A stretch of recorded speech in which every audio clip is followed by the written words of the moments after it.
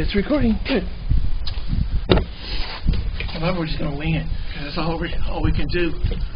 Uh, welcome, folks. This is Shepherd CW, and we're out here at uh, Lakeland Highlands Scrub uh, Nature Preserve here in Lakeland, Florida. Uh, bringing to you a special presentation from uh, KWW AM 770 uh, radio station, who has now unfortunately gone out of business just due to the changing morals of our country.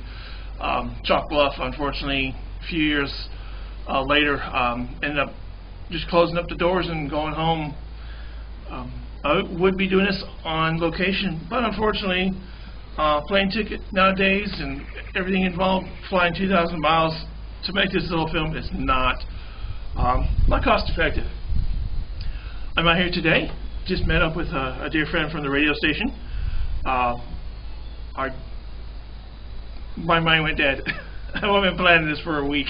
Ardella, uh, who used to work at a, a radio station, uh, doing a lot of the uh, in between, a lot of things, uh, getting me coffee on more than one occasion when we've been stuck at, in, the, in the radio station uh, in the early evening hours, doing working on the books, counting, um, help on our live performers, uh, get set up, just kind of just all around helper if if there was a need. God gave her the gift to uh, fill it, and we're, I'm happy that, that we had a chance to meet up. If we look exhausted, we are. We've been walking on this couple miles on this park at this park today, and we're not as young as we used to be, as you can imagine. You know, what hair? My hair is just a memory. Ours' hair was a beautiful color. What it is, I don't remember. My memory's gone like probably like hers is too. so, but what I found. Uh, or what we really came out here for is to, well, I was out my, my, my KWW memorabilia uh, box at the house the other day. I found this old letter, old faded brown letter, and um, from a listener, as we were always trying to encourage our listeners in, in Colorado, northern Colorado, um, southern Wyoming area to, to the radio station. And um, I found this letter that never got answered. So if uh, Ardella, Ardella would uh, read this, and then we'll get on to the to the meat of what we're here for today. Okay, I'd be happy to read it. Um, Thanks. it's dated May 5th, 1939, which was just, you know, a couple days ago. Um, and it says, Dear WW, KWW radio staff, I live in Ault, Colorado, and listen to your radio station. This is the first time writing to you. I like the music and the teaching. As a wife of a, a beet farmer, I am often alone for long hours as my husband and crew work our land. Your radio station makes me feel like you are in the room with me, and I feel better and not so lonely. I do have a few questions for you today. Maybe you can help me. Number one, with all of the different religions in the world today, which one is the right one to follow?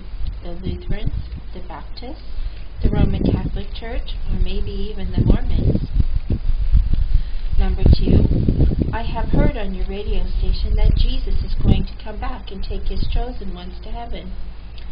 My question, why has he not come back yet? Number three, I have been trying to live a good life, not drinking, trying not to curse and stuff like that.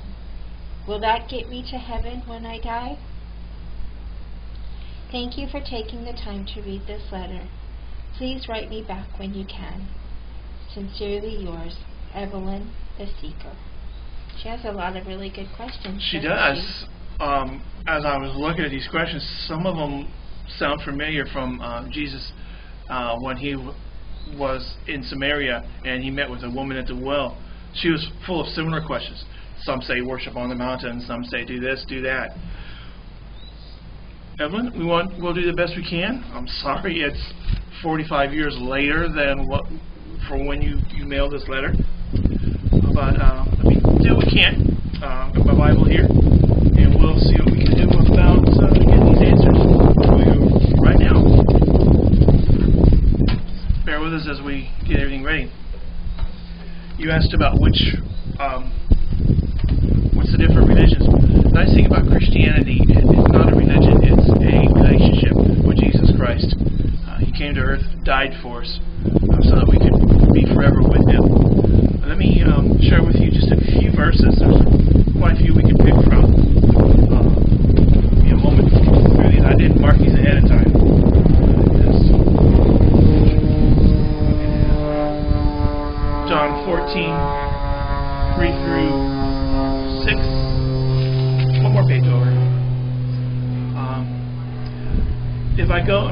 Place for you, I will come again and receive you unto myself, that where I am, there ye may be also.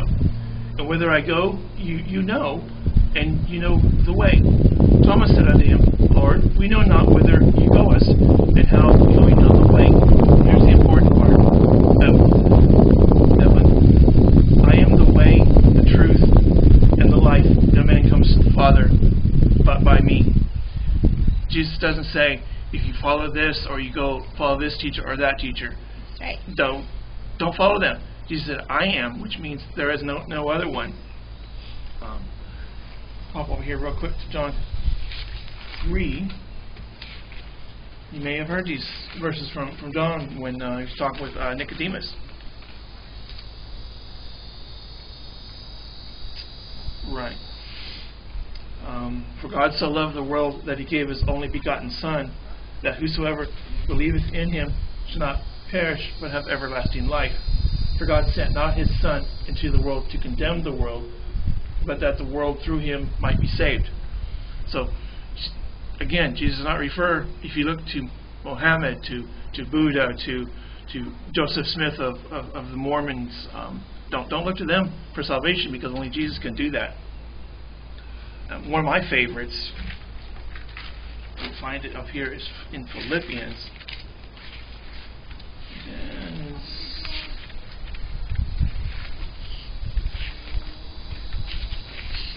Philippians 2. Oops, here it is. Um, this is a very important verse for us. Um, Philippians 2 9 through 11. Um, wherefore, wherefore God hath also highly exalted him, which would be the him would be Jesus, and given him a name which is above every name.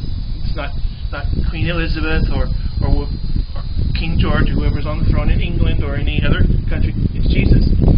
That at the name of Jesus, every knee shall bow of things in heaven, things in earth, things under the earth, and that every tongue shall confess that Jesus Christ is Lord to the glory of God the Father. Which is really good because we just came from this beautiful walk walkway, and it, we can see the things above us, the, the beautiful sky, the, the birds and, and the dragonflies that were out today, the uh, the frogs, and maybe uh, a few birds we saw, the different plants that were down their roots trying to trip us. It seemed like at times. Either that or our, our, our feet were getting tired from walking. We don't walk much anymore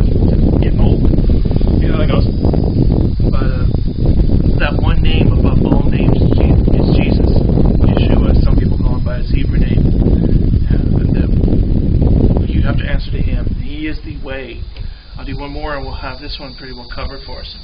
At the end of time, when um, Jesus talks, so you've heard of, of the book of Revelation and how it predicts the future, which uh, we're now in in that future, the early stages of it.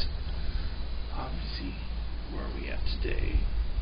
Okay, this talks about the unsaved. If you do not repent of your sins and ask Jesus into your heart, you will be here, and you're not going to be answering to anybody but Jesus. You're not going to be answering any of our world uh, religious leaders, but only Jesus. This is a great, terrible day that's yet to come for all who, who don't know Jesus. And I saw a great white throne, and him that sat on it, from whose face the earth and the he- heaven fled away, and there was found no place in them.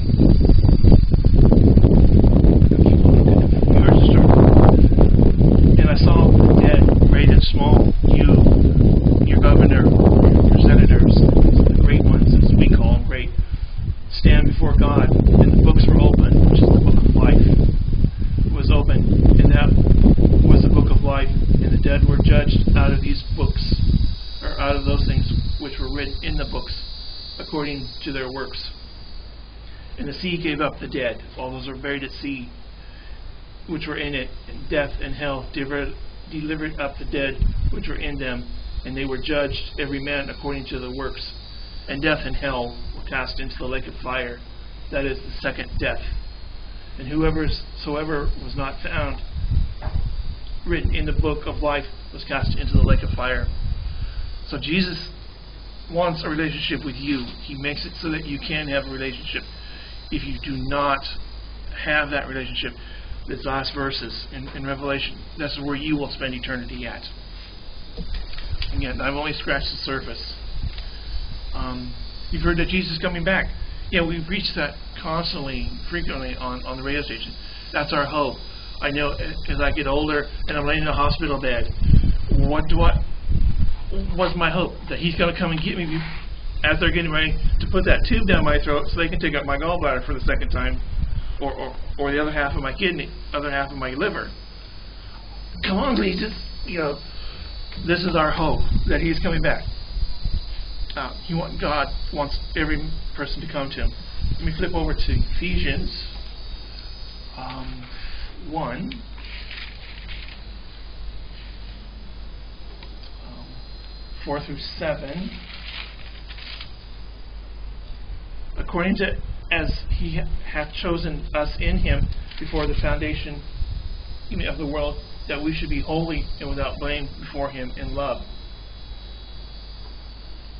Having predestination, predestinated us into the adoption of children by Jesus to himself, according to the good pleasure of his will, to the praise of the glory of his grace, wherein he hath made us accepted in the beloved in whom we have redemption through his blood and forgiveness of sins according to the riches of his grace.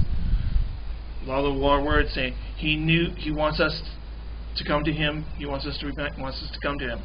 That's why he, all those verses end up saying. Flip over to Matthew 25.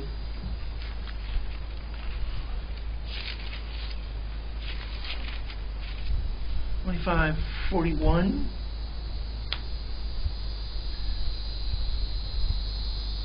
Okay, and um, and it says, then shall he say also unto them on the left hand, Depart from me, ye cursed, into everlasting fire, prepared for the devil and his angels.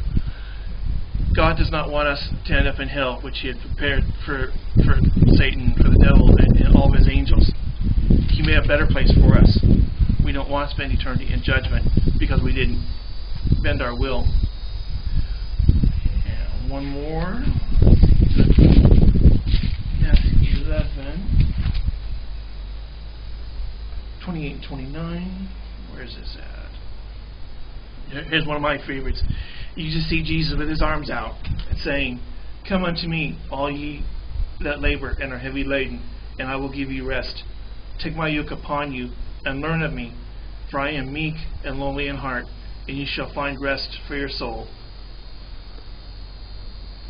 that to me says it's like as a mother, maybe I, hope you had children because they're one I've got has been a joy to my life, and and and, and same for Ardell here. She absolutely she's got got a beautiful daughter. I've not had a chance to meet yet, but down the road we will. Uh, but but Jesus with his arms saying, "Come come on, I love you," and he kind of down on his knees, and we little children are like, "Daddy, Daddy," you know, and, and your heart's hurting, and, and he's there to make you better. Jesus is coming back for us. He's promised it. All of his other promises. He died on the cross for your sins as payment to please God.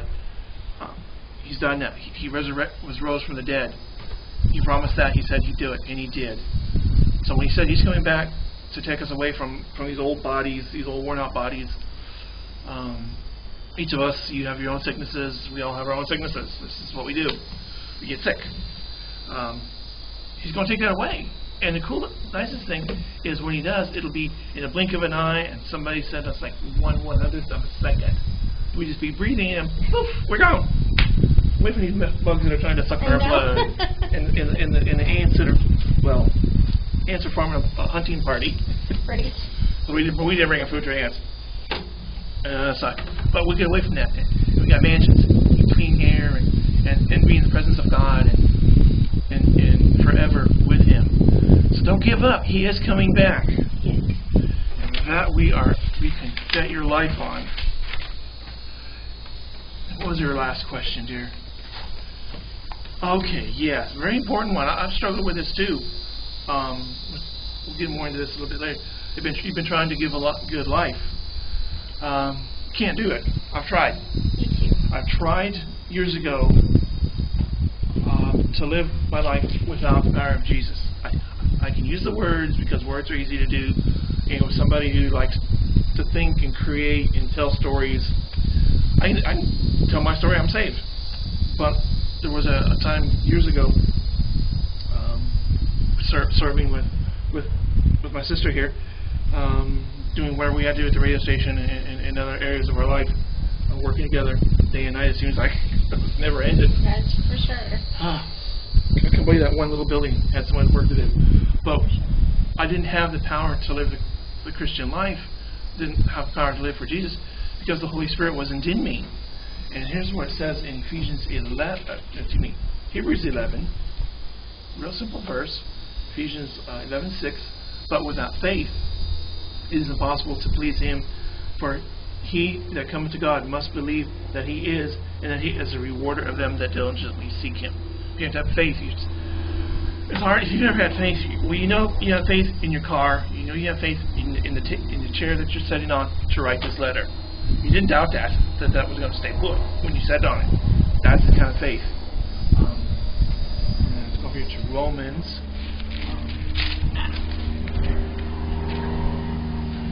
Okay. My brain's getting tired. Of Evelyn, I'm sorry. So let's do this here.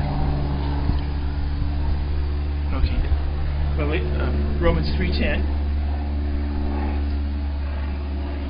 As it is written, there is none righteous, no, not one. None of us. We're all have sinned. There's no doubt about it. I'm going to quickly move on. There's so many verses. For all have sinned and come short of the glory of God. Romans 5 8 is a beautiful verse. God demonstrated, commended him, demonstrated his love toward us, in that while we were yet sinners, Christ died for us. Beautiful little um, thing for us. After Jesus went to heaven, about 50 days later, over what's called the Day of Pentecost, a whole lot of Jews were in town. There was celebration going on, and it was a celebration. And Peter was known for putting his foot in his mouth at the wrong time. Uh, no, I've never done. Oh, I just lied. I'm sorry.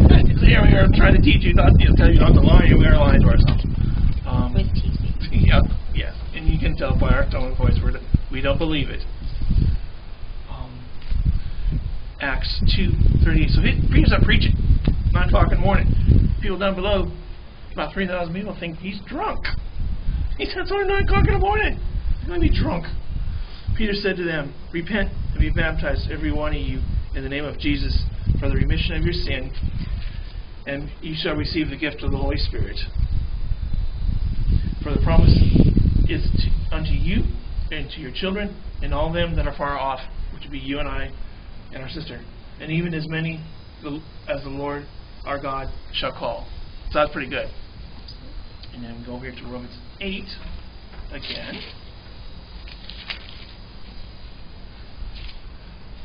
Eight, sixteen, and seventeen. One more page over. The Holy Spirit comes to as soon as we repent and invite. Invite. That's this key word. Invite. Uh, Jesus and He um, gives us the Holy Spirit, which is pretty cool. Uh, the Spirit itself bears witness with our spirit that we are the children of God, and if children, then heirs, heirs of God, and joint heirs with Christ. If so be that we suffer with Him, that we may be also glorified. So with the Holy Spirit in, Jesus comes back, or, or we die, we have to go through the grave. Holy Spirit says, "Yep, he, he he's he's ours. He's, he belongs to us. Let him into heaven," and that's that's a good thing. And in Romans eight sixteen, Already read that one. Evelyn, I know this is short and quick, and there's so many more verses that need to be said to you. This is just a quick thing. Before I do, I want to leave these few verses with you, and we're going to close this out. And, and I hope through the miracle that of, of us having your letter after this many years, that you will somehow either have your answers question or answered by somebody else, or you will somehow this will find its way through through the internet or things like that. In this little book I'm reading from, Heaven, How to Get There. Heaven, only one way. Jesus said, I am the way, the truth, and the life. The man comes unto me, or unto the Father, but by me. John 14, 6. I have sinned, for all have sinned and come short of the glory of God. Romans 3.23. God loves me. For God so loved the world that he gave his only begotten Son. Whoever, that whosoever believes in him shall not perish, but have everlasting life. John 3.16. Christ died for me. Christ died for our sins. He was buried, and he rose again on the third day, according to Scriptures. 1 Corinthians 15, 3 through 4. God's wonderful gift, for by grace are you saved through faith, and that not of yourself, for it is the gift of God. Ephesians 2, 8. And lastly, you have to receive the gift. You just don't say, okay, you know, you've got the gift, I want, give me that. But unless you ask for it, you're not going to get it. He will not come into your into your life without you asking. For as many as receive him, to him gave he gave to be power to become the sons of God, even to them that believe on his name. First John one two. Evelyn, this is all short. Ask that you seek out a pastor at your local church that preaches God and, and preaches, uh, preaches the book. We have a, a local radio station, our in city where our sister lives, where it's the it's the book, the blood, and the blessed hope. When I mean book, it's the Bible. Bless the blood is Je- Jesus' blood, and, and the blessed hope is when Jesus comes back to get us. So thank you, Sister Evelyn, for down, Sorry, this letter. Thank you, dear sister, for coming. I think we're both kaput. So, um, this is Brother Harvey Tramsey, our sister Ardell, and we'll return this back. Uh, we'll get this movie processed and out so you can see it. Thank you again. We ask that you do this very soon because you never know when the, your last your last breath is around the corner. We don't know the day or the hour in which we, our souls will be called out. You. Take care. Lord bless you. Thank you for being with you today. God bless you.